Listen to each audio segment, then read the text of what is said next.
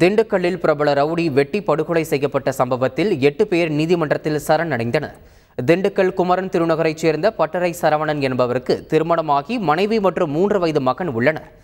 இந்த நிலையில் சரவணன் திண்டுக்கல் அண்ணாநகர் தைலத்தோப்பில் தனது மூன்று வயது குழந்தையுடன் விளையாட சென்றுவிட்டு இருசக்கர வாகனத்தில் வீட்டிற்கு தனது குழந்தையுடன் திரும்பியுள்ளார்.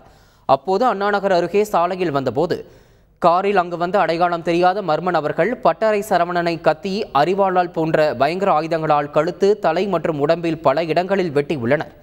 இதில் சம்பவ இடத்திலேயே சரவணன் பரிதாபமாக உயிரிழந்தார். இந்த சம்பவம் தொடர்பாக போலீசார் வழக்கு பதிவு செய்து கொலையாளிகளை தேடி வந்த நிலையில் ஆசிப் முகமது முகமது மீரான் கலீல் அகமது உள்ளிட்ட எட்டு பேர் அருப்புக்கோட்டை குற்றவியல் நீதிமன்றத்தில் சரணடைந்தனர். செய்திகளை உடனுக்குடன் தெரிந்து கொள்ள உடனே சப்ஸ்கிரைப் பண்ணுங்க.